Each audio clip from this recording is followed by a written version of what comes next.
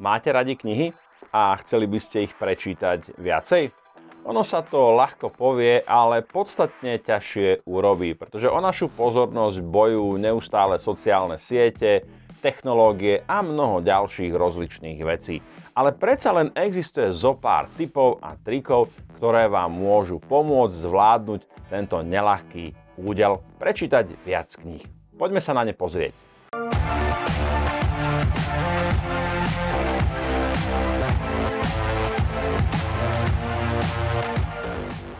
Vítajte na videokanále Martina Prodaja. Vítajte na mieste, ktoré je venované osobnému a profesnému rastu, kde vám už od roku 2008 prinášam témy od zarábania peňazí až po zvládnutie meditácie.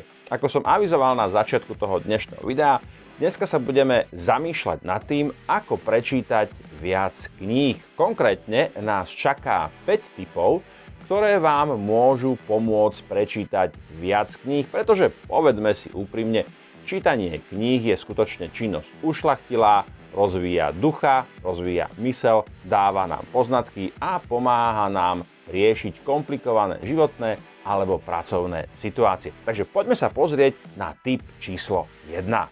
Pokiaľ je vašim zámerom počas roka prečítať viac kníh, je veľmi dobré, pokiaľ si dáte nejaký cieľ. Ja viem, je to také trošku kontraproduktívne, knižky to je niečo, k čomu sa obraciame vtedy, keď chceme, aby nám bolo dobré, aby sme boli vtiahnutí do deja, aby sme sa niečo naučili, aby sme možno zabili zmysluplne čas alebo strávili zmysluplne čas. A dávať si ciele pri niečom takom ušlachtilom môže vyznieť na prvý pohľad kontraproduktívne.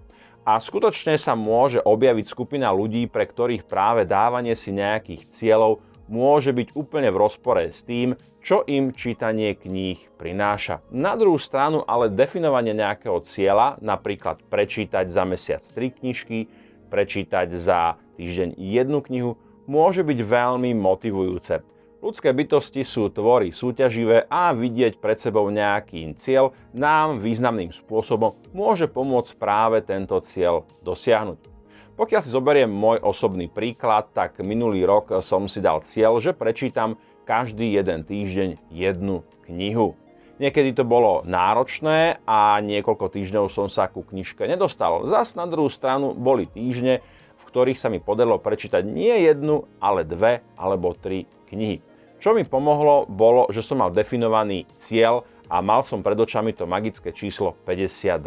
Pokiaľ sa pozriete inak na moju webovú stránku martinprodaj.sk, nájdete tam zhrnutie za rok 2022, nájdete tam aj zoznam všetkých kníh, ktoré som prečítal a budete vidieť, či sa mi môj ročný cieľ podarilo prekonať. Takže tip číslo 1, definujte si nejaký cieľ, ku ktorému sa v oblasti čítania kníh chcete priblížiť.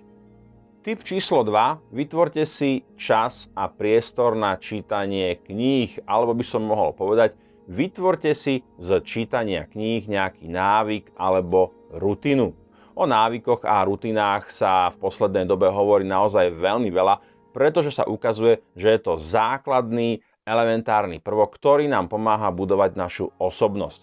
To znamená, vytvorte si nejaký návyk, v rámci ktorého si poviete, že budete stráviť nejaký čas s knihou. To môže byť napríklad 15 e, minút pri raňajšej káve, alebo to môže byť pol hodinka tesne predtým, než pôjdete spať. Dokonca sa to aj veľmi odporúča, zvlášť pokiaľ držíte v rukách takúto nejakú papierovú knižku, pretože elektronické zariadenia ako tablety alebo telefóny nám emitujú modré svetlo, ktoré nie je úplne priaznivé pre nastavenie nášho zaspávacieho cyklu.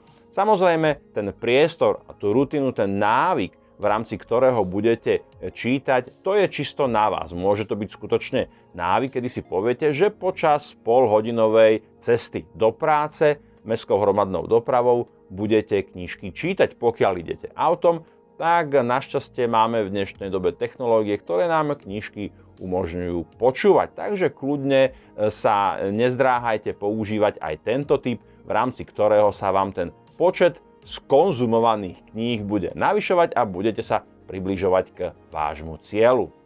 Typ číslo 3 nám hovorí o tom, že by ste sa mali venovať knižkám, ktoré vás bavia. A toto je pre niektorých čitateľov naozaj taká zásadná a náročná vec a zase poviem z vlastnej skúsenosti, veľmi dlho a vlastne aj teraz tak trošku bojujem s knižkami v situáciách, kedy ma úplne nebavia, nerozumiem tomu, ale mám ich na svojom zozname. To je inak záležitosť, ktorá takisto môže byť nápomocná. Vytvárajte si nejaký zoznam. To máme taký bonusový typ. Pokiaľ idete do knihkupectva alebo pokiaľ scrollujete na internete, nechajte si e, nejaký záznamník, kde si budete písať tipy na knižky, ktoré by ste chceli v budúcnosti si prečítať. Tých knížiek v tej dnešnej dobe je produkovaných také obrovské množstvo, že skrátka a dobré by sme si nemuseli alebo nemáme dôvod čítať knihy, ktoré nás nebavia. Áno, vyžaduje si to trošku premáhania a povedať si naozaj mm, opustiť takéto chcem to dotiahnuť do konca, keď už som začal, tak to predsa dočítam. Ale skutočne si treba uvedomiť, že tých dobrých kníh je naozaj veľmi veľa a navyše, pokiaľ čítame niečo, čo nás veľmi e, nebaví, no tak sa pripravujeme o tú príležitosť prečítať si niečo, čo nás naopak bude baviť. Takže vyberajte naozaj starostlivo a nebojte sa odložiť knihu, pokiaľ vás e, nechytí v nejakých prvých 10-15 stránkach, toto môžete mať nastavené samozrejme individuálne, ale skutočne, pokiaľ vás tá knižka nebaví, tak ju odložte a vyberte si zo svojho zoznamu nejakú inú knihu, ktorej dáte šancu na úkor tej predošlej. Kontrolujte sociálne médiá. Ako som hovoril na začiatku toho dnešného videa, sociálne médiá sú obrovským žrútom nášho času a veľmi úspešne bojujú o našu pozornosť.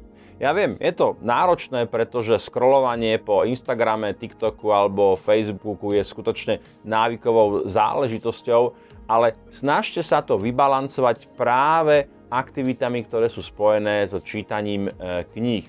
Také malé doporučenie, ktoré som si vyskúšal sám na sebe a ktoré mi celkom zaberá, dal som si také pravidlo, že pokiaľ strávim na Facebooku, Instagrame nejaký čas, 5, 10, 15 minút, zvlášť keď mám taký ten oddychový čas, sedím v kresle alebo ležím na posteli, tak to podmiením tým, že potom si zoberiem do ruky knižku a prečítam si jednu až dve strany. Je to potom zaujímavé otestovať si, že takýmto spôsobom môžete vlastne jeden, povedzme taký negatívny návyk, ako konzumovanie sociálnych médií, vyvážiť naopak nejakým pozitívnym návykom.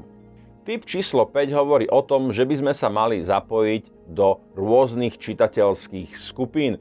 Samozrejme máme čitateľské skupiny alebo čitateľské kluby, ktoré sú offline a ktoré sú online. Pokiaľ budeme hovoriť o online čitateľských skupinách, samozrejme nájdeme ich predovšetkým na Facebooku, tak trošku ideme proti tomu pravidlu číslo 4, ktoré nám hovorilo o tom, aby sme sa zdráhali nejak extenzívne využívať sociálne skupiny, ale v tomto prípade si myslím, že môžeme urobiť takú drobnú výnimku a skutočne si vieme nájsť skupiny, kde e, čitatelia preberajú to, čo čítali, dávajú krátke recenzie, ponúkajú nám rozličné typy, pretože práve toto nám umožňuje E, špecifikovať alebo vybrúsiť si ten náš výber. Ono, ako som spomínal, tých knížiek, ktoré v dnešnej dobe naozaj vychádzajú, je obrovské množstvo a nemáte šancu neustále mať prehľad o edičných plánoch všetkých možných vydavateľstiev, ktoré vydávajú knižky, e, ktoré vás bavia. Inak, e, keď o tom rozprávam, tak mi kľudne dajte do komentárov vedieť, či ste členmi nejakých čitateľských skupín a či vám to prináša nejaký benefit, to, že si môžete prečítať tipy alebo návrhy ostatných čitateľov. Inak ešte ma napadá taká ďalšia vec.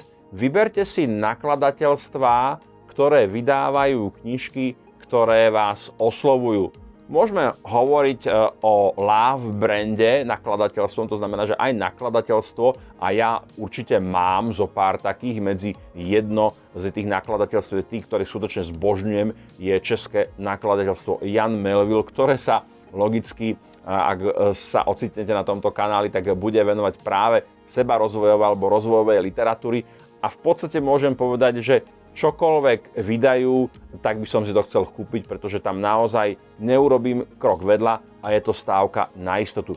Takže je dobré, pokiaľ si vyselektujete e, skutočne nejaké nakladateľstvá, keď už hovoríme o nakladateľstvách ako o love brandoch, určite máte aj obľúbených spisovateľov. A zase, to je postup alebo e, pokrok alebo fičurka, ktorá vám umožní vyberať si z toho obrovského množstva knížiek tie, kde je istota alebo je vysoká pravdepodobnosť, že naozaj budete čítať knižku, ktorá vás baví, ktorá vás zaujme, e, ktorá vo vás vzbudí taký ten wow efekt a o to vlastne pri čítaní ide, aby ste si to predovšetkým užívali.